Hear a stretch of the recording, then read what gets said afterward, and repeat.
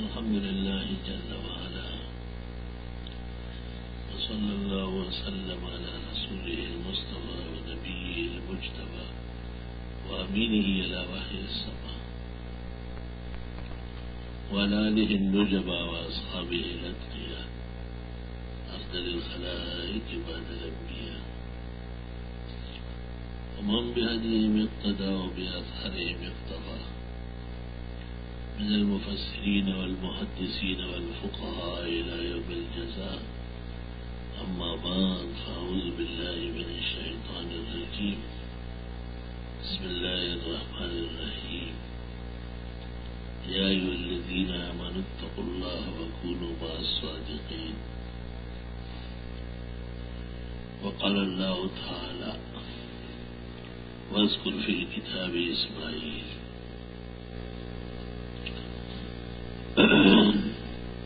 وقال الله تعالى واذكر في الكتاب إبراهيم إنه كان صديقا نبيا.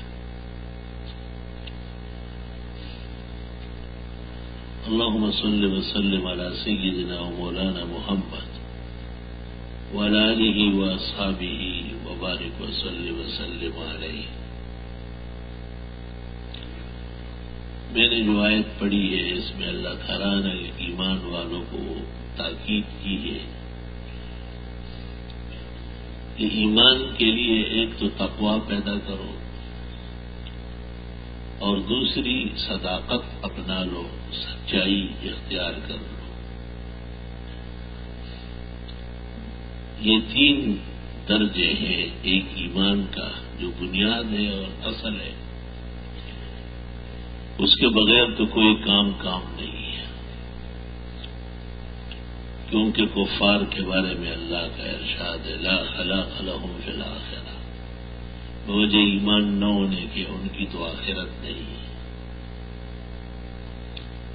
اس پر آسمانی دینوں کا اور مذاہب کا اتفاق ہے۔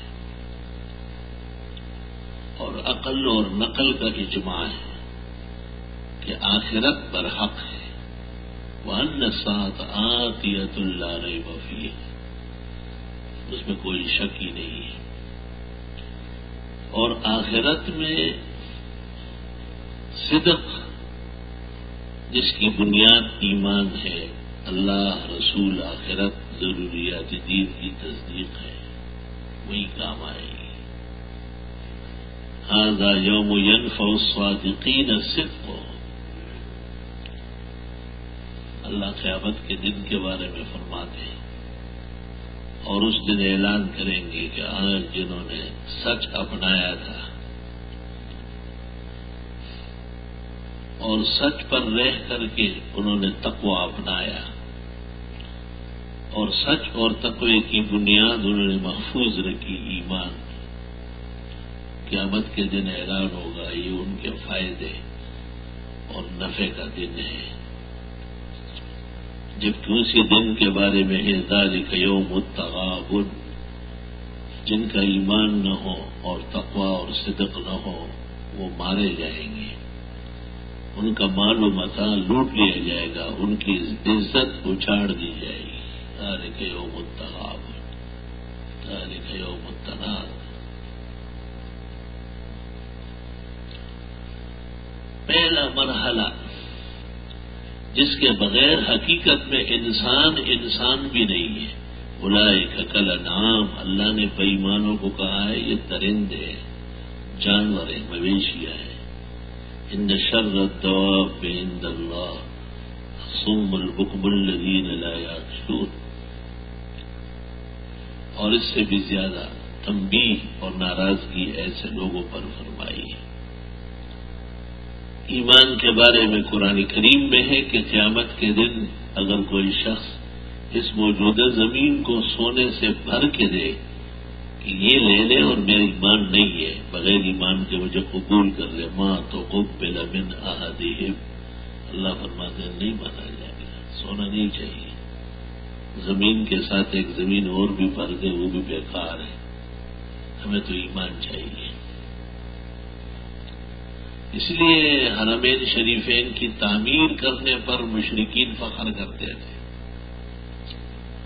اور وہاں حاجی جو اللہ کے گھر کے مہمان ہوتے ہیں، ان کو سخت گرمی اور تپش میں اور حرارت میں دور دور تک زمزم پہنچاتے تھے۔ خیر کے کام تو تھے، لیکن قرآن نے کہا، ایمان پہلے ضروری ہے، بغیر ایمان کے نہ تعبیر مسجد کا کوئی اعتبار ہے۔ اور نہ کسی دوسرے احسان، حاجی صاحبان کو پانی پلانے کی خد کیوں نہ ہو۔ اجان تم سقایت الحاج جو عمارت المسجد الحرام کمن آمن باللہ ولیوم الاخر ایمان اللہ تعالیٰ پر و آخرت پر یہ ضروری ہے۔ اس کے بعد اگر ایک کجور یا آدھی کجور بھی اللہ کے نام پر دیں گے، بہت پہاڑ بن کے آئے گا۔ کمافل بخاری ایک گھونٹ پانی بھی کسی کو پلائیں گے اور ایک قطرہ شربت کا بھی دیں گے۔ تو یہ سب ذرائع بنیں گے نجات کے لیے، لیکن ایمان بہت ضروری ہے۔ یا الدین منتق اللہ وکون و صادقی تقوا اور صدق۔ تقوا پرہیز کو کہتے ہیں۔ بیمار پرہیز میں دو چیزوں کا پابند ہوتا ہے۔ جو صحت بخش چیزیں ہوتی ہیں، وہ کھائے اور جو ضرر رساں چیزیں ہیں، ان سے بچے جن چیزوں کو صحت بخش کہتے ہیں، ان کو شریعت عوامر کہتی ہے۔ اور جن چیزوں کو نقصان دہ کہتے ہیں، شریعت مقدسہ، اسے نواحی کہتے ہیں۔ اس لیے راغب کہتے ہیں اول امتسال بے عوامر اللہ و نواحی اللہ تعالیٰ کے عوامر و نواحی کو اپنانا۔ اسی کو تقوا کہتے ہیں دل المتقین قرآن انہی کے لیے ہے اور وہی سب سے پہلے فائدہ اٹھاتے ہیں۔ دوسرے لوگ دل الناس ان کو دیر لگتی ہے۔ اللہ تعالیٰ کا شکر کرنا چاہیے۔ کہ اللہ سبحانہ و تعالیٰ نے ہمیں ایمان نصیب فرمایا اور ہم مومن ہیں، مسلم ہے مسلمان ہے امام ابو حنیفہ سے منقول ہے الفق الاکبر میں کہ یہ نہ کہو کہ میں مومن ہوں، انشاءاللہ شاء اللہ شک کی بات ہے۔ الحمد للہ میں مومن ہوں۔ یہ کہہ سکتے ہیں کہ میں مومن ہی رہوں گا، انشاءاللہ، کیونکہ اس میں اللہ سے طلب توفیق ہے۔ لیکن ماضی پر تو ہم شکر بنا جائے بجا لایا جاتا ہے۔ ایمان بہت بڑے خزائن ہے بہت بڑے گنجینے ہیں۔ کافر سو سال کا پاک ہو جاتا ہے ایمان لانے سے۔ مومن سو سال کا جہنم رسید ہو جاتا ہے ایمان نہ ہونے کی وجہ سے۔ بخاری شریف میں اس دن سبق جو پڑھایا طالب علموں کو کہ غزو عہد میں ایک شخص تھا، اس کا نام تھا بخشی اس کے نام سے حضرت حمزہ رضی اللہ تعالیٰ عنہ شہید ہو گئے تھے۔ حضرت کی ان سے بڑی محبت تھی، بڑی پیار تھی۔ عمر میں صرف دو سال بڑے تھے۔ اور اکٹھے دودھ بھی پیے بھائی بھی۔ کیونکہ آپ کی خدمت میں ان کی ایک بیٹی کا کی پیشکش ہوئی تو آپ نے کہا یہ میری بتیجی حمزہ رشتے میں چچا ہے اور رضائی بھائی اب صحابہ کو پتہ چلا کہ یہ رشتہ بھی موجود ہے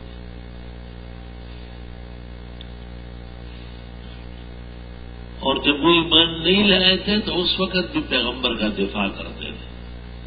چاہ ان کو پتہ چل جاتا تھا کہ مکہ مکرمہ میں کسی نے ہاں حضرت صلی اللہ علیہ وسلم کے ساتھ نامناسب سلوک کیا ہے تو حضرت حمزہ تلوار لے کے پہنچ جاتا ہے۔ تمہیں پتہ نہیں کہ یہ حمزے کا بتیجا ہے۔ بڑے واقعات مور یقین نے لکھے بڑے غیرتی انسان۔ لیکن اللہ نے مقدر کیے تھے وہ خود کے غذا میں۔ ایک شخص وحشی اس کے ہاتھ سے شہید ہوا۔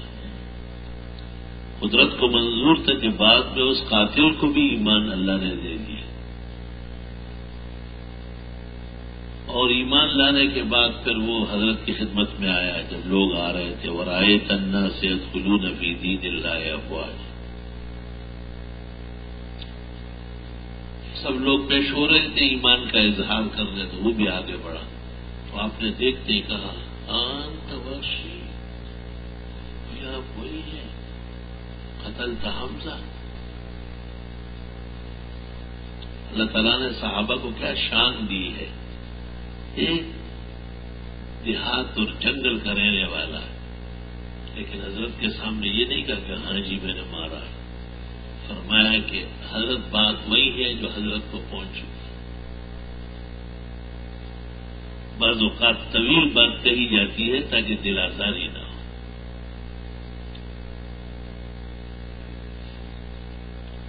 حضرت نے فرمایا کہ آپ کا ایمان معتبر ہے۔ اللہ نے آپ کا ایمان قبول کر لیا ہے۔ تم یہ مہربانی کرو کہ میرے سامنے زیادہ نہیں آیا کرو۔ کیونکہ جب بار بار آؤ گے، جاؤ گے نا، ہر دفعہ مجھے افسوس ہوگا او میرا چچا حمزہ اس شخص نے کفر میں مارا ہے۔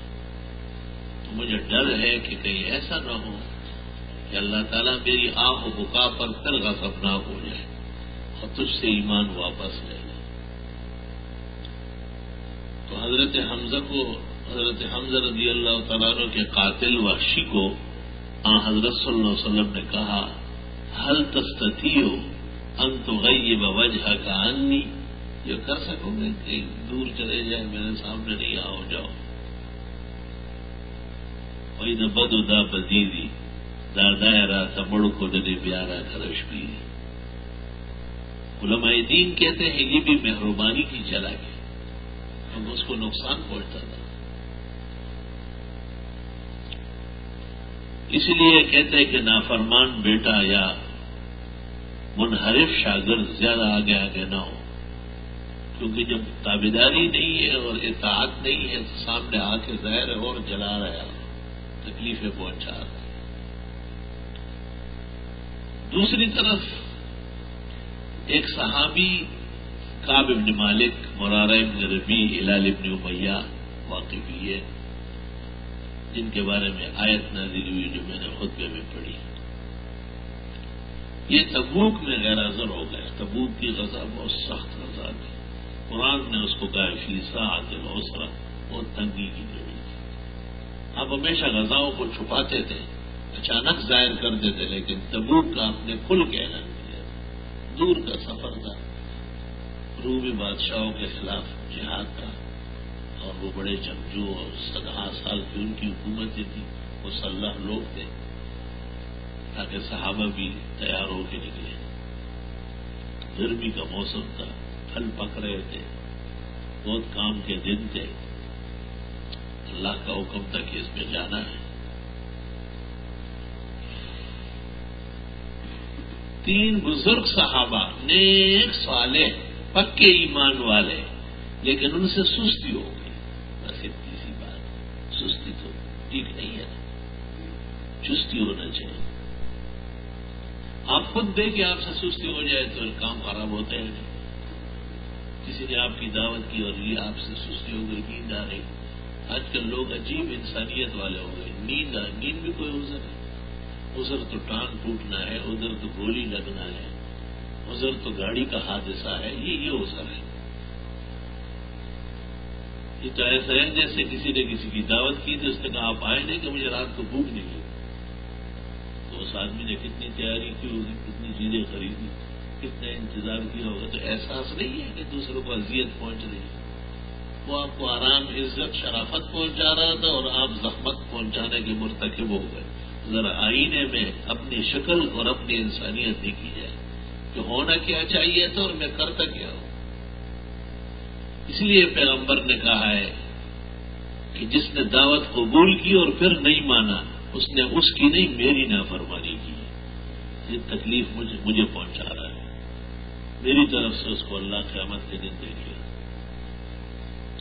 میرے ساتھ ہی معذرت کرتے وقت کہہ دیتا ہے کہ بھائی میرے حالات ایسے ہیں کہ شاید میں نہ پہنچ سکوں اور آپ بہت زیادہ انتظار نہ فرمائیں۔ جب آپ اس مزاج کے ہیں اور انسانیت اتنی کمزور ہے آپ کی، تو پہلے سے اپنے لفافے ان کے ہاتھ میں دے دوں کہ میں اس کنڈیشن کا آدمی ہوں۔ علماء دین کہتے ایک دعوت میں پچاس سنتیں زندہ ہوتی ہیں۔ یہ پچاس سنتوں کا قاتل ہے۔ پچاس سنتیں بنتی ہے ادھر سے شروع کرو۔ جب سے اس نے کہا ہے کہ جی میں چاہتا ہوں میرے گھر میرے ساتھ آپ کھانا کھائیں۔ پھر خریدنا، پکانا، لگانا ہے، اور تو اللہ تعالیٰ علماء دین کی خبروں کو نور سے بھر دے اور ان کے ارواح پرفتوح بنائے اور ان کے اتباع و امثال خوب بڑھائے اور انہیں خوب توفیق، کیا محنت فرمائی۔ پچاس کے قریب سنتیں۔ ایک مسلمان کی جائز دعوت میں زندہ ہوتی۔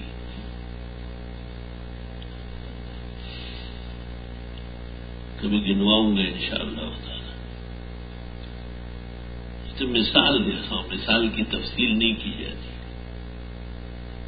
یا الذین امن التق اللہ، اے ایمان والو، اللہ سے ڈرو وکون صادقین اور سچے بن جاؤ، سچوں کا ساتھ دو، سچوں کی محفل، صحبت اختیار کر لو، سچوں کا اتباع کر لو۔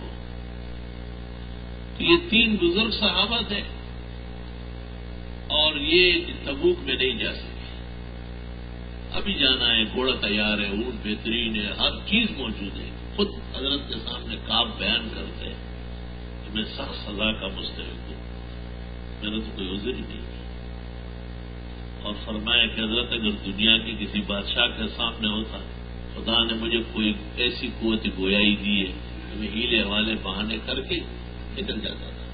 لیکن آپ پیغمبر ہے اگر آج میں جھوٹ بول لوں، آپ کو خوش کروں کل وہی آ جائے گی، ہمیشہ کے لیے آپ ناراض ہو جائیں گے۔ تو آپ کے سامنے سچ سے ہی کام چلے گا۔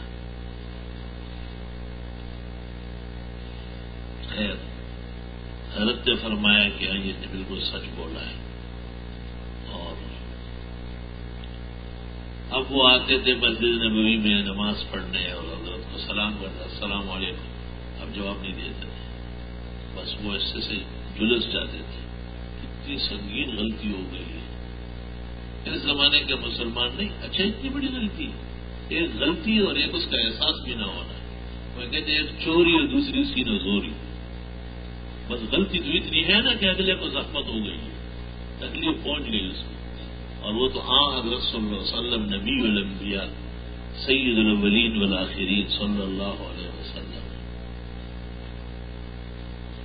اس میں بہت تفصیلات صرف ایک مثال دیتا ہوں کہ دیکھو، حمزہ کو تو کہا کہ آپ میرے سامنے سے چلے جائیں۔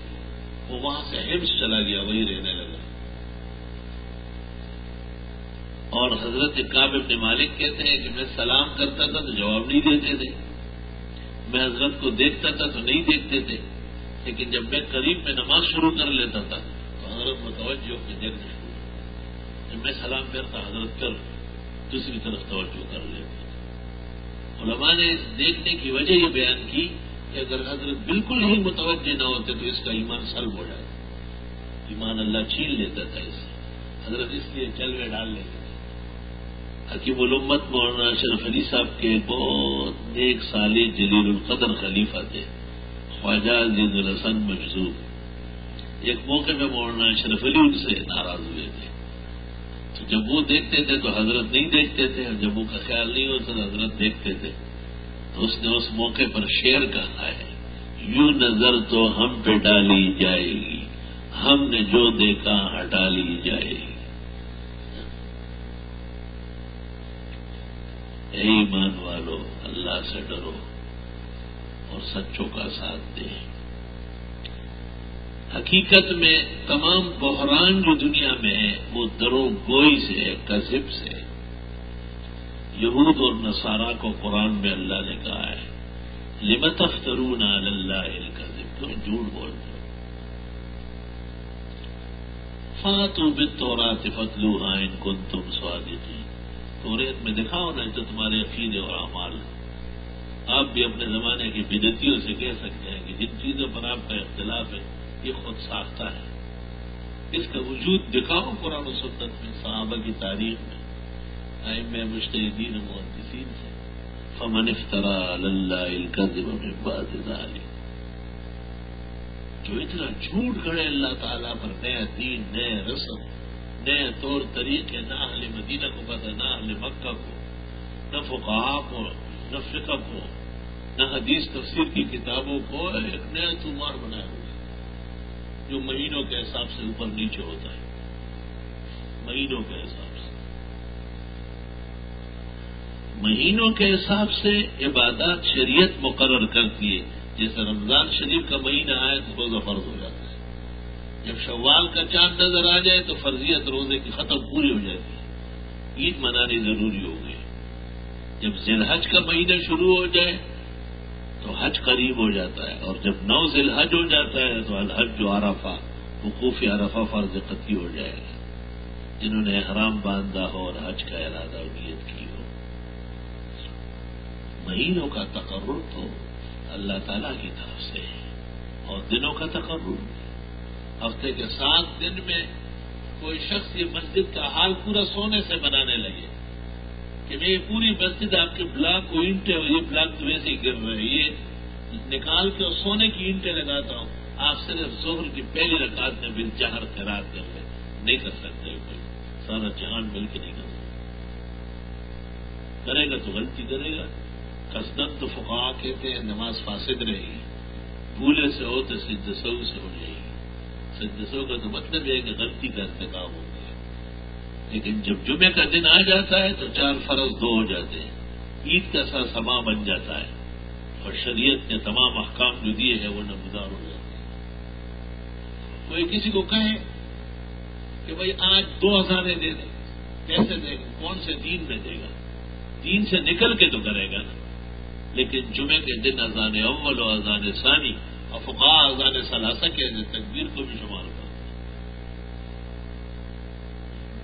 اتباع خالص صدق کی دلیل ہے۔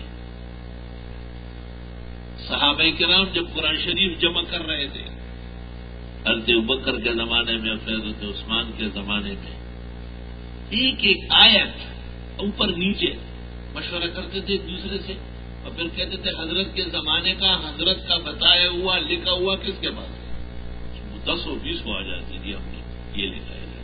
یاد سب کو ایک دن مگر دیکھ کے لکھنا بھی پیغمبر کا بتایا ہوا، وہ دیکھنا ہے۔ ایک سو تیرہ سورت ہے فاتحہ بقرا عال عمران نثار معاہدہ انعام آراف انفال، سب صورتوں پر بسم اللہ الرحمن الرحیم، بسم اللہ الرحمن الرحیم۔ سورت آ گئی توبہ۔ سب کو پتا ہے کہ مستقل صورت ہے۔ جس پر بسم اللہ پیغمبر نے پڑھا ہے سنا۔ کہ جن لوگوں کو پیغمبر وہی لکھواتے تھے، قرآن کریم وہ آ جائے، وہ سارا خود تاب آ گئے۔ تمام پرچیاں دکھائی گئی، کہیں بھی نہیں ہے۔ سورت توبہ جب پوری ہو گئی سورت یونس بسم اللہ سب کے پاس موجود ہے، سب کو یاد ہے۔ حود یوسف، رات، ابراہیم، ہجر نہل اسرا کاف مریم توحا انبیاء، حج، مومنون، نور، فرقان شعرا نمل قصص انکبوت روم۔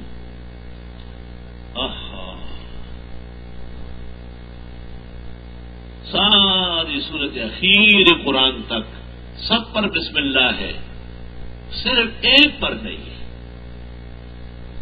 تو ایک سو تیرہ صورتوں پر بسم اللہ موجود ہے۔ تو ایک سو تیرہ صورتوں پر قیاس کر کے ایک پر جو نہ سنا گیا اور نہ لکھا ہوا پیغمبر کے زمانے کا ملا، تو صحابہ متفق کس پر نہیں ہوئے؟ کہ ہم لکھ لیتے ہیں، بسم اللہ تو یہ اچھا کام تو ہے کوئی گناہ کا کام، کلمہ تو نہیں ہے۔ نہ نہ گناہ و ثواب بعد میں ہے۔ نہ نبی کا کیا ہوا ہے، نہ کہا ہوا ہے۔ دیکھیے لوگ کہتے ہیں ثواب کام کام تو ہے مصطفی کو تو یاد کرتے ہیں۔ مگر یاد کرنے کا ڈھب اور طریقہ بھی مصطفیٰ والا ہوگا۔ وہ من گڑت والا نہیں چلے گا۔ صاحب کرام نے اتفاق کیا۔ کتنے احسان ہے امت پر کہ یہ صورت بغیر بسم اللہ کے لکھو، کوئی کسی نسخے میں بھی اس پر بسم اللہ نہ لکھو۔ ایسا محفوظ دین ہے۔ اس سے ان لوگوں کا بھی رد ہے جو حضرات صحابہ کے اخلاص پر، ان کی دیانت پر اور ان کے عدل پر اور ان کی صداقت پر شک کرتے ہیں۔ قرآن کریم کی صورتوں کو آگے پیچھے یا خلافتوں کو اوپر نیچے کرنا تو درکنار۔ صحابہ نے ایک بسم اللہ کا اضافہ دین میں نہیں کیا۔ ایک بسم لے کر شرقن غربن من عہد رسول اللہ صلی اللہ علیہ وسلم الایوم نہذا وہ ان شاء اللہ الایوم القیامہ۔ قرآن کریم کا کوئی مصحف آپ اٹھائے اس پر سورہ توبہ کے اوپر بسم اللہ نہیں ہوا حضرت نے نہیں بتایا اور حضرت کو جبریل نے نہیں بتایا، حضرت نے کاتب لکھنے والوں کو نہیں بتایا۔ اور کہیں بھی نہ سنا گیا اور نہ لکھا گیا، متفق ہو گئے صحابہ۔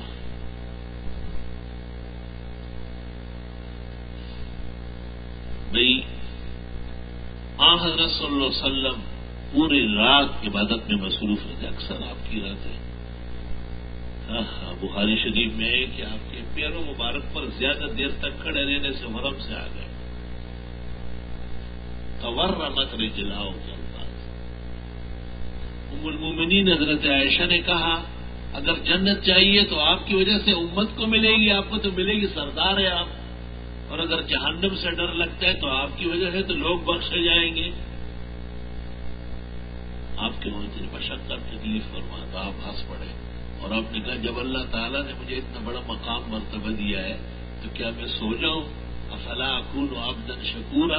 پھر اس احسان کرنے والے اور مقام دینے والے اللہ کا اور شکر کرنا چاہیے۔ خوب عبادت کرنا چاہیے۔ جب آخری وقت ہو جاتا تھا، صبح صادق کا، تھوڑا سا وقت باقی ہے، دعاؤں سے اور تحجد سے اور وطر سے آپ فارغ ہو جاتے ہیں۔ آپ نے ہمیشہ وطر اخیر میں پڑھی اور حکم بھی یہی دیا ہے۔ اور وطروں کے بعد آپ سے کسی قسم کا نفل۔ صلاحت استخارہ، حاجات، تحجد، قیام اللیل کبھی بھی ثابت نہیں ہے۔ تو یہی آپ کا حکم ہے اجعلو آخر صلاحت کو بل وطرا۔ تو تھوڑی دیر کمر سیدھی کرنے کے لیے آپ لیٹ جاتے ہیں تاکہ فجر تفصیل سے پڑھانی ہے اور ان نلکفن نہار سب ہم طویلا دن میں بڑے بڑے کام بھی کرنے اللہ فرماتے ہیں۔ اس کو محدثین استجا کہتے ہیں۔ جو رات بھر جاگا ہوا ہو اور وہ تحجد وطر، دعا سب سے فارغ ہو جائے اور فجر میں کچھ وقت دے حضرت کمر سیدھی کرنے کے لیے تھوڑی دیر کے لیے بغیر تشریح کے لیے آپ ایسے محتاط اور شان والے پیغمبر ہیں کہ آپ نے بلال کو کہا تو اذان دیتا ہے تو مجھے بھی آواز دیا تھا سبحان اللہ، فجر کے لیے جگانا سنت طریقہ ہے۔ تحجد کے لیے بھی جگانا ثابت ہے۔ کیونکہ حضرت عمر، آ حضرت صلی اللہ علیہ وسلم نے ایک موقع پر مسجد نبوی آ کے صحابہ کو دیکھی تھی میرے صحابہ راتوں کو کیا کرتے ہیں؟ مسجد میں کون کون آیا ہے؟ تو بکر صدیق کو دیکھا، گم سوم بغیر کسی حرکت کے نماز میں کھڑے ہیں۔ اور قیام اللیل تحجد میں مشغول ہے عمر کے پاس سے گزرے وہ زور زور سے پڑھ رہے زور زور سے پڑھ رہے اس سے پتہ چلا کہ آپ نے باقاعدہ حاضری لی۔ دینی ادارے انتظام کا تقاضا ہے کہ دریافت کیا جائے شاگردوں سے۔ کبھی کبھی اپنے مقتدیوں سے کبھی تاجد پڑھتے ہو، رات کو کسی وقت اٹھتے ہو۔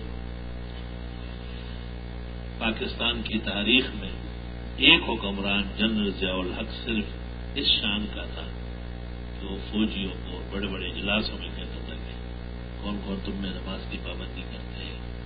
راتوں کو بھی اٹھتے ہوئے نہیں؟ ہمارا چھوٹا سا ملک تھا کہ یہ محفوظ رہا ہمیں بہت ضرورت ہے۔ کل ہی ایک اخبار میں ان کی مذمت کسی ظالم نے کی ہے کہ وہ اجلاسوں میں دینی باتیں کرتا تھا نماز ہوتی تھا کرتا تھا۔ میں نے کہا، افسوس، ظالم، تم کو میر سے صحبت نہیں رہی۔ ہاں دن میں آپ نے ابو بکر صدیق کو کہا، میں رات کو آپ کے پاس گزرا۔ بہت خاموش، بالکل جیسے بے جان ہو۔ ایسا گم سم کیوں؟ فرمایا اسماؤ من نہ جئی تو جس سے بات چیت ہو رہی تھی، وہ خوب سننے والا اللہ ہے۔ آپ نے کہا، اس کے باوجود پھر فام ان سعودی کا کلیلہ تھوڑا سا اونچا کر کے پڑھا کرو تاکہ شوق بڑا رہے، بیدار رہے۔ حضرت عمر سے کہا، بھائی، تیرے پاس گزرا، تو بڑے چیخ چیخ کے پڑھ رہا تھا۔ کیوں؟ فرمایا او کے ظلم وسنانا وہ اتر دشیتانا جو سوئے ہوئے ہیں، ان کو جگانا اور شیطان کو بگانا علاوہ زور سے یہ کام تو کرتی ہے۔ بشرطے کہ کسی میں غیرت ہو، حیا ہو، ایمان ہو، تو وہ آواز سن کے بیدار ہو جائے، قرآن پڑھا جا رہا ہے۔ اس لیے فقا کہتے ہیں بے وقت نہ پڑھا جائے، لوگوں کو بے چین نہ کیے جائے۔ یا وہ آواز نہیں دیں گے تو گناگار ہو حضرت عمر نے دو فائدے ایک کی جگہ بتایا تاکہ جو سوئے ہوئے ہیں ان کو اٹھنا ہے، مسجد میں اس لیے تو آئے ہیں۔ تو وہ اٹھ سکیں گے آرام سے۔ اور جنہوں نے اور جہاں شیطان کا دخل ہے، قرآن کی شان ہے کہ جب وہ پڑھا جائے، شیطان بھاگنا شروع کر دیتا ہے۔ آپ نے فرمایا، یہ سب باتیں اپنی جگہ ٹھیک ہے لیکن ایک فض بن کا کلیل تھوڑا سا آواز کم کر۔ وہ خزال کا جالنا کو محمد اللہ تعالیٰ نے اعتدال کے لوگ پیدا کیے ہماری پوری امت اعتدال پر ہے۔ ابو بکر جیسے سناٹا اس میں بھی حرکت پیدا کی اور حضرت عمر رضی اللہ تعالیٰ عنہ جیسے زور سے پڑھنا اسے نیچے کرا دیا تاکہ اس سے پتہ چلا کہ عام حضرت صلی اللہ علیہ وسلم نے قیام اللیل اور تحجد کی بھی کتنی ترغیب دی اور یہاں تک کہ آپ نے صحابہ کی حاضری دی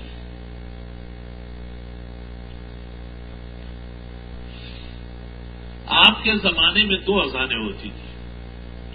ایک عبداللہ ابن ام مکتوم دیتے تھے اور ایک حضرت بلال دیتے تھے۔ ابن ام مکتوم اکثر فجر کی دیتے تھے۔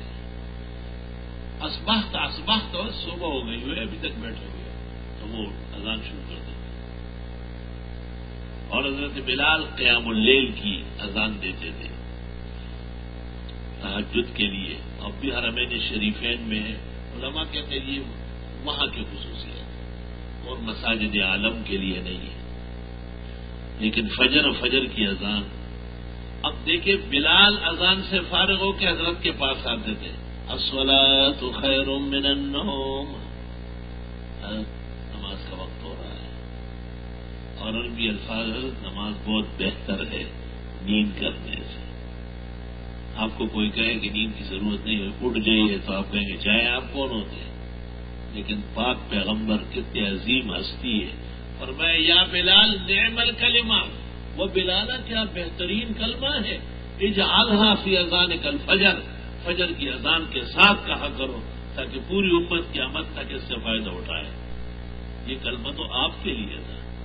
تو آپ نے کہا کہ نہیں، اس کو اذان فجر میں شامل کرو۔ پھر یہ انصاف دیکھے کہ فجر کی اذان میں تو یہ کہا جاتا ہے؟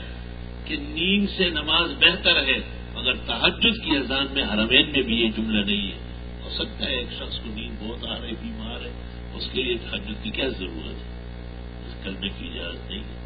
امام ابو حنیفہ اور کائنات کا امام بخاری اور انور شاہ کشمیری بھی اگر تحجد کے لیے اذان حرمین میں کہے اسولا تو خیر میں النوم نہیں کہے، اجازت نہیں ہے غلط بات ہو جائے گی۔ اور فجر کا مؤذن اگر اذان بھول جائے تو معاف ہے اور قصدت ایسا کرتا ہے۔ تحاوی میں ہے اور معطا میں کہ حضرت عمر کو پتہ چلا کہ بعض جگہ معذرین فجر کی اذان بغیر اسفلات خیر من النوم کے دیتے آپ نے ان کے ساتھ سختی کی اور وہ سخت ہدایات بھی علماء نے یہ بھی کتابوں میں لکھا ہے کہ مؤذن اگر روز بھولتا ہے تو مؤذن اسے برخاست کر دیا جائے۔ مؤذنی کا اہل نہیں، نہ اہل۔ ہے کتنا بہترین کلمہ سولہ تو خیروں میں ننو تو دیکھو جس میں ہے، اس سے نکالنا جرم ہے اور جہاں نہیں ہے، وہاں ڈالنا جرم ہے۔ بھئی ہم سب اٹھنا چاہتے ہیں، ہم سب مسجد میں ٹھہر رہے ہیں، ہمیں اٹھنا ہے۔ ہم محسن صاحب کو کہہ سکتے ہیں کہ آپ کا سولہ تو خیر غلط نہیں کہہ سکتے۔ یہ شریعت ہماری بنائی ہوئی نہیں ہے۔ ہمارے بڑوں نے، جنہوں نے ہم تک تحجد، قیام اللیل مسجد میں ٹھہرنا۔ یہ سب ہم تک پہنچائے ہیں۔ ان کے لیے یہ جملہ نہیں کہا گیا تھا۔ اس لیے کوئی بعد میں اپنے خیال سے کوئی چیزوں پر نیچے کر لے تو دین کا اور خدا کا مجرم ہوگا۔ اسی کو تو بدتی کہتے ہیں اور بدتی کے سر میں سیٹ لگے ہوئے دے گا اسی کو تو مبتدی کہتے ہیں۔ یا ایمان والے اتق اللہ اللہ سے ڈر فکون و صادقین اور سچوں کے ساتھ ہو جاؤ۔ سچے پیغمبر ہے سچے صحابہ ہے سچے تابعین ہے تب تابعین ہے فقہ مجتہدین ہے خاص کر چاروں ائمہ اور ان کے ارشد تلاویز کل کائنات کے محدثین بالخصوص اصحاب سیاہ ستا یہ وہ لوگ ہیں، چاروں سلسلے ولایت کے سروردی، چشتی، قادری نقش بندی یہ سب صدق سے لبریز سلسلے اولیاء کاملین، صلحاء امت، درد و غم رکھنے والے، اللہ اللہ کرنے والے۔ ان کی امانت ہے، اے ایمان والو، اللہ سے ڈرو۔ اور سچوں کے ساتھ ہو مدینہ منورہ اور مکہ مکرمہ سچ کے مراکز ہیں، صدق کے مراکز ہے الحمدللہ۔ اس لیے اللہ نے ان کو شرک سے اور بدت سے محفوظ فرمایا ہے۔ تحقیق میں یا ہمبلی اور غیر ہمبلی ہونے میں فرق ہو سکتا ہے۔ اس سے کیا فرق؟ جب ان کو کہیں گے کہ بھئی آپ والی مزاج تو وہاں سے مصدقہ نہیں ہے۔ کہتے ہیں جی وہ ہاتھ اوپر رکھتے ہیں اور وہ اشارہ کرتے ہیں۔ اور وہ ایسے ویسے بابا، یہ مذاہب کی بات ہے یہ پیغمبر کی سنتوں پر وہ بھی عمل پہ رہا ہے۔ ساری سنتیں آپ کا ٹھیکہ نہیں ہے۔ اس کی زیادہ نہیں، دو دلیلیں دیتا ہوں آنکھیں کھل جائیں گی انشاءاللہ۔ قرآن کریم میں ہے کہ جب بنو قریضہ فتح ہوئے اور صحابہ ان کے باغ کاٹنے لگے کہ ہم نے باغات کے لیے ان کو نہیں نکالا یہاں سے، کفر کی وجہ سے نکالا ہے۔ ہم مال چور نہیں ہیں۔ تو وہ درخت کاٹ رہے تھے۔ بعض صحابہ نے کہا کہ بھائی وہ تو چلے گئے، غنیمت ہے۔ اپنے درختوں کو برباد کر رہے ہو۔ تو وہ چاہتے تھے کہ نہ کٹے۔ درخت کاٹنا یہ ایک مسئلہ ہو گیا۔ اور نہ کاٹنا یہ مثبت اور منفی کا تعارف ہے۔ لیکن قرآن کا کہتے ہیں، وما قطع تم ملی نہ تھے اور ترک تمہا کائے متن اللہ اصولیا فویز نہیں دونوں صحیح رہا ٹھیک ہے۔ دونوں کو صحیح کہا امام شافی کہتے ہیں، امام کے پیچھے فاتحہ پڑھو۔ رکو جاتے وقت، سر اٹھاتے وقت دوبارہ رفع دین کرو۔ امام اعظم اور امام مالک کہتے ہیں، ایک دفعہ رفع دین ہے۔ دوبارہ ہاتھ اٹھانے کی ضرورت نہیں ہے۔ اس سے کوئی فرق نہیں پڑتا۔ ہمیں چونکہ امام ابو حنیفہ اور ان کے فقہ پر زیادہ اعتماد ہے کہ وہ بڑے ہیں، عمر میں، زمانے میں۔ صحابہ کے شاگرد ہونے میں صرف وہ واحد آدمی ہے جس کو یہ شرف حاصل ہے۔ اور انہوں نے پچپن حج کیے ہیں۔ سات، آٹھ، نو، دس مہینے کا تو حج ہوتا تھا۔ وہ یہ حج تک یہاں سے بیٹھ گئے، جہاز میں ادھر سے آ گئے۔ پانچ دنوں کا حج ہو گیا۔ وہ حج جو ایسا ہوتا تھا کہ کوفہ سے حرمین جاتے ہوئے سفر کا پہلے اندازہ لگاؤ۔ مہینے لگتے ہیں اس میں پھر وہاں لوگ سفر کرتے تھے درس کے لیے۔ درس کے لیے۔ امام صاحب نے جو پہلا واقعہ سنایا وہ یہی کہتے ہیں کہ میں سن اسی ہجری میں پیدا ہوا۔ سن چھیانوے میں اپنے والد کے ساتھ حج کرنے حرم شریف چلا گیا۔ جب میں مسجد حرم داخل ہوا، ایک بڑا مجمع لگا ہوا ہے۔ ایک شیخ درس دے رہے میں قریب ہوا میں نے پوچھا کس کا درس ہو رہا ہے؟ انہوں نے کہا عبداللہ ابن جزا زبیدی حارثی صاحب رسول اللہ صلی اللہ علیہ وسلم، پیغمبر کے صحابی کا درس ہو رہا ہے۔ فرمایا، اور قریب ہو گیا۔ اور وہ اس وقت بیان کر رہے تھے۔ منتفق فی دین اللہ، جس نے اللہ کے دین کا فقہ حاصل کیا۔ کف اللہ اللہ اس کی تمام پریشانیاں دور کر دے گا۔ اور رزقہ بن ہے سلایا صرف وہاں سے روزی عزت خزانے دے گا، اس کا خیال اور وہم بھی نہیں ہوگا۔ لوگ اور چیزوں کے پیچھے دوڑ رہے ہیں، دیوانے بنے ہوئے ہیں۔ یہ پہلی حدیث ہے جو سولہ سال کی عمر میں امام ابو حنیفہ نے حرم میں صحابی رسول سے سنی ہے۔ اور اسی کو زندگی کا دستور بنایا۔ امام ابو حنیفہ کے حالات جب مورخ لکھتے ہیں خوابو ابن خلقان ہو، یا ابن خلدون ہو، یا صاحب مرآت الزمان ہو، یا وفیت العیان ہو، یا صحابی صاحب سیر العلام ہو، یا ابن حجر صاحب تہذیب و تہذیب ہو۔ تو یہ ساتھ لکھتے ہیں ابو حنیفہ کے لیے فقی و حاض الما اس امت کے سب سے بڑے فقی سب سے بڑے فقی فقی و حاض الما فقی الراک اللہ، اے ایمان والو، اللہ سے ڈرو اور سچوں کے ساتھ ہو جاؤ۔ آ حضرت صلی اللہ علیہ وسلم نے صحابہ کی ایک جماعت روانہ کی، بخاری شریف میں، آج ہی بنو قریضہ کے حال میں پڑھی ہے، پڑھائی ہے۔ تو آپ نے ان کو جلدی بھیجنا تھا تو ان سے فرمایا، لا احدکم الاسرا اللہ بھی بنو قریضہ بنو قریضہ پہنچ کے اثر پڑنا راستے میں نہ پڑنا یہ اس موقع پہ کہا جاتا ہے جب آدمی کو تیز بھیجنا ہو بھائی آپ کو جمعہ وہاں پہنچانا ہے۔ تو تمام کام چھوڑ کے زور لگاتا ہے کہ بھائی ہاں یہ تو بہت بڑی ذمہ داری ہے۔ خدا کا کرنا یہ تھا کہ دیر ہو گئی۔ اور وہاں نہیں پہنچ سکتے تھے اور اثر قضا ہونے لگی تو صحابہ نے آپس میں بحث کی۔ کچھ لوگوں نے کہا، مقصد رسول، جلدی پہنچنا تھا، وہ تو نہ ہوا، اب نماز بھی قضا کر لے انہوں نے پڑھ لی۔ اور کچھ لوگوں نے کہا کہ نبی کی نبوت کی زبان پر آیا ہے اللہ نہ پڑھے ہم نہیں پڑھیں۔ وہاں جا کر قضا پڑھیں گے۔ بخاری شریف میں ہے۔ انہوں نے کہا، حضرت، یہ بات پیش آئی، ہم نے پڑھ لی۔ انہوں نے کہا ہم نے نہیں پڑھی، لم یو احدم بن ہوما ایک کو بھی ڈانٹا رہے تو ٹھیک ہے۔ دونوں مقاصد کے عین مطابق اس سے پتہ چلا کہ امام کے پیچھے فاتحہ پڑھنے والے شوافی و حنابلہ۔ کیونکہ صرف شوافی حنابلہ بھی قائل نہیں ہے، وجود کے۔ امام شافی تن و تنا ہے۔ مصر جانے کے بعد۔ پوری امت متفق ہے کہ امام کی ابتدا میں فاتحہ نہیں ہے۔ لیکن پڑھنے والے امام کے ماننے کے بعد وہ اہل حق ہے ایک تو بے مہار ہے ٹانگے ایسی پولی رکھو، حق یہاں تک لے آؤ، سر ننگ کرو، ایک تماشا سرکس بناؤ۔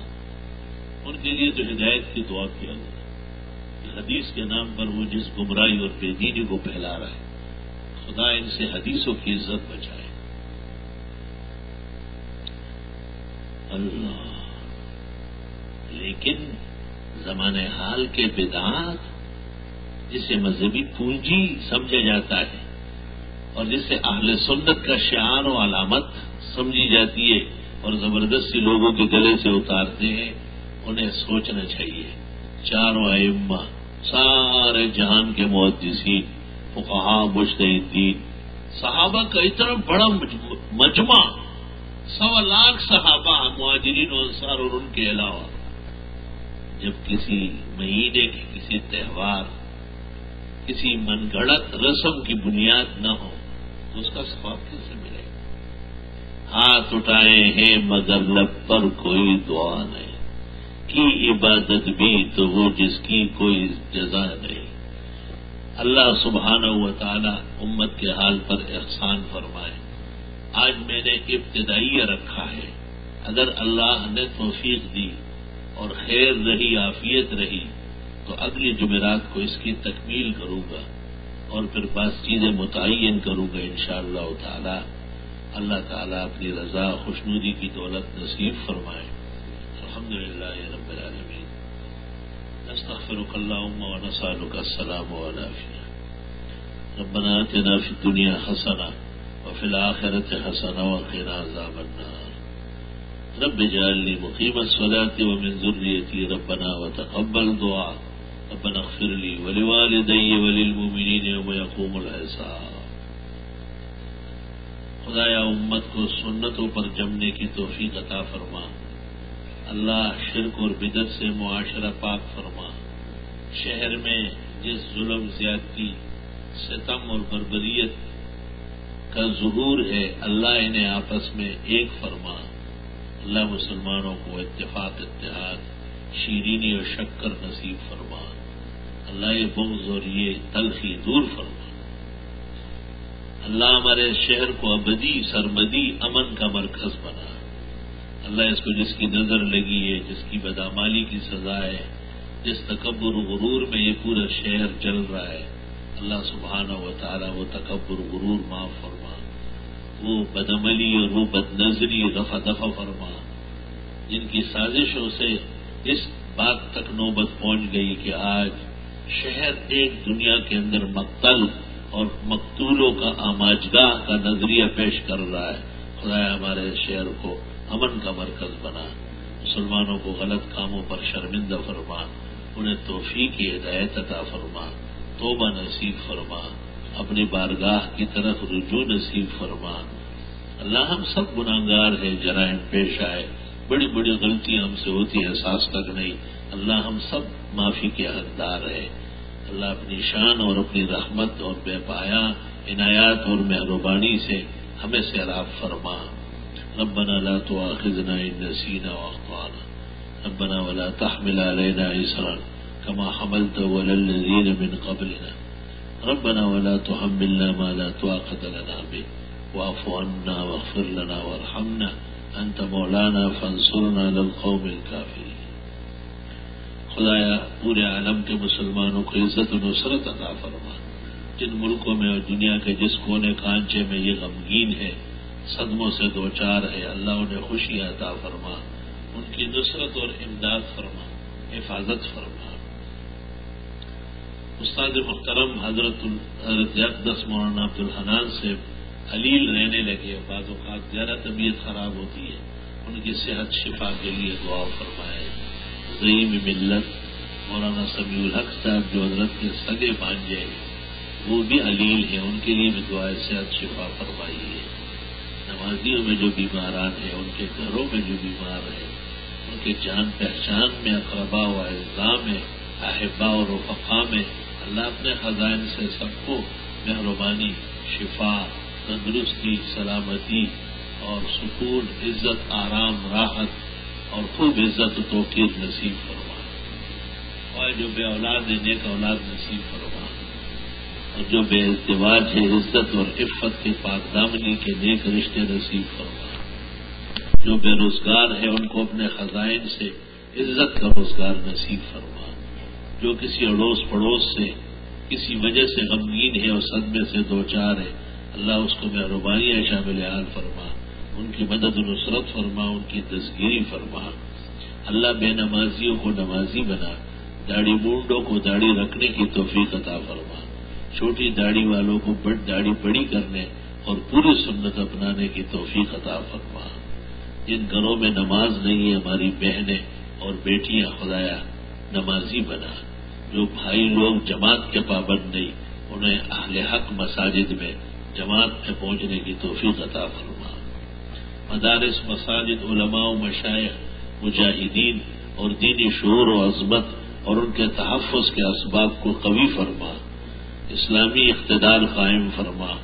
ان ملکوں میں مسلمان زیر و زبر ہے، اللہ ان کی مدد و نصرت فرما۔ تبلیغی جماعت کو بھی اثر رسوخ مزید فرما۔ ان کے راستے ہموار فرما۔ جن ملکوں میں، جن علاقوں میں ان کو دقت کرانی ہے، وہاں انہیں آسانی عطا فرما۔ اور پوری دنیا اسلام کے عظیم مومن اور تبلیغی جماعت کا سرمایہ ہمارے فخر و مفخر بھائی عبد الواب صاحب اور ان کی جماعت حقہ کو عمر کی برکتیں، صحت کی برکتیں، آل و اولاد جماعت کی ترقی اور اس کے نشر و اشاعت کی خوشی کی مسرات نصیب فرما۔ اللہ در و دیوار چپے چپے کی حفاظت فرما۔ اللہ پورے ملک کی حفاظت فرما۔ جن علاقوں میں ناکارہ حملے ہیں خودکشیاں ہیں اور خودکش دھماکے ہیں۔ اللہ وہاں ہمیشہ کے لیے امن پیدا فرما۔ یہ سیاست کی شعبہ آبادی ہے یا حکومتوں کے شاخسانے ہیں۔ بے گناہ و معصوم نے مسلمان مارے جا رہے ہیں۔ اللہ ان کی حفاظت فرما۔ اللہ یہ دجل و فریب، یہ تقاتل کی فضائیں ختم فرما۔ خوشگواری اور شیرینی کو غلبہ عطا فرما۔ رمین شریفین کی حفاظت فرما۔ ہمیں حج اور عمرے اور دیگر زیارات کے بہانے بار بار توبے اور اخلاص، نیک عمل اپنے محبوبوں اور اپنے معتقدین، جن کو ہم چاہتے ہیں جو ہمیں چاہتے ہیں۔ اللہ ان کے ساتھ آنا جانا نصیب فرما۔